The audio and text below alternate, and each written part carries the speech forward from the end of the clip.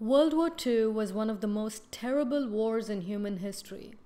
Never before had so many men, women, and resources been devoted to military effort. Now, one result was the carnage on the battlefields, but another involved brutal war crimes and atrocities against women in many parts of the world. In this video, I want to draw your attention to the issue of comfort women, and I'm going to focus on Korea. Now, the term Comfort women is a euphemism for the girls and women who were forced to provide sexual services to Japanese soldiers during World War II. Before I address the issue of comfort women, I want to talk a little bit about what was happening in Korea at the beginning of the 20th century. In 1910, Japan annexed Korea and the Japanese wanted to make Korea its model colony. They invested very heavily in the mining industry, set up fertilizer and hydroelectric power plants, and by the 1930s, all large scale industries in Korea were Japanese owned. But this colonial transformation was not just a matter of economics. The colonial government was authoritarian, Education in Korea was Japan oriented and instruction was given in Japanese. The Japanese in Korea received better salaries, medical care, education, and jobs than Koreans. Now, of course, all of this was very similar to what Europeans did in their colonies in Africa and Asia. But after 1937, the Japanese policy of assimilation became very harsh. Koreans were pressured to adopt Japanese names, they were drafted to fight in Japan's wars, and they were sent to work in factories in Japan. So we need to understand the issue of comfort women in this context of Japanese colonization. In other words, the issue of comfort women is part of this legacy of Japanese imperialism in Korea. Now, in 1945, after Japan was defeated in World War II, Soviet forces took control of the no northern part of Korea and American forces took control of the southern part. The 30th parallel was the agreed upon dividing line. Then in June 1950, North Korean forces invaded South Korea and they were driven back. And finally, a ceasefire was agreed upon in 1953, which is still in effect, and the 38th parallel remains the boundary between North and South Korea. Now, a series of bilateral talks were then held between South Korea and Japan from 1951 to 1965 in an effort to normalize the diplomatic relations between the two countries. And in 1965, both nations signed the treaty on basic relations between Japan and the Republic of Korea. And at this time, both Korea and Japan also agreed to resolve several issues concerning wartime property, individual claims for compensation, and economic cooperation. Now, according to the terms of this treaty, Japan provided South Korea with economic aid and loans as compensation for colonial rule.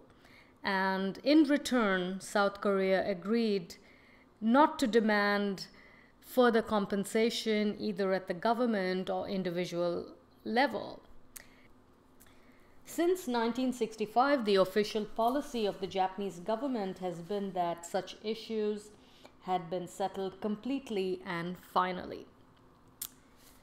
Now, the South Korean government has argued that the 1965 agreement was not intended to settle individual claims against Japan for war crimes or crimes against humanity. And Korean activists have demanded the re-establishment of justice, meaning that this issue is really about the rights of ordinary people who have been exploited by a repressive colonial power and they want to set history right. Now let's look at the timeline of events. In 1932, the first comfort station was set up in China. Then in 1937, after the Nanjing massacre, the comfort women system was institutionalized. And during the war, the Japanese recruited thousands of women in Korea between the ages of 16 and 40 to offer sexual services to the Japanese soldiers. Now, typically, these young women were taken from poor Korean families uh, by trickery or they were kidnapped, and their job was to provide sexual services to many men. Now, needless to say, this was a blatant violation of human rights. Typically, these comfort stations were open from about 9 a.m. until late at night. And in some comfort stations, soldiers might have paid a certain sum of money, either directly or indirectly, but the women had absolutely no choice or freedom. And when the Japanese military retreated or moved to another location, the women in these comfort stations were either abandoned or left to share their fate with the defeated army. Very few escaped, and then, when the war ended in 1945, most of these women could not return home. Some of them, of course, had given up the idea of even going back home out of a feeling of shame. And some Korean women were sent to China. Many of them stayed there until the 1990s. Now, as you can imagine, these women suffered greatly from physical injuries, venereal diseases, and just plain cruelty. They could not conceal their experiences and trauma or shame, and, you know, or, or even share their pain uh, in some ways, and that was perhaps the heaviest burden to bear. So the question is how did this issue come to light? If the Japanese government wanted this to remain a secret. Now, it's not that people in Japan were completely unaware of the comfort stations and the plight of these women, but perhaps there was no awareness or recognition of the issue as a social problem and as a human rights violation. So, this issue was taken up and discussed publicly in South Korea only in the late 1980s and early 1990s, and a series of articles focusing on this issue were then published in Korean newspapers. That led women's organizations in Korea then to draft a document that listed six demands. And then they presented this list to the Japanese government mainly to acknowledge that these comfort women were taken away forcibly, they also wanted the Japanese government to issue an official apology.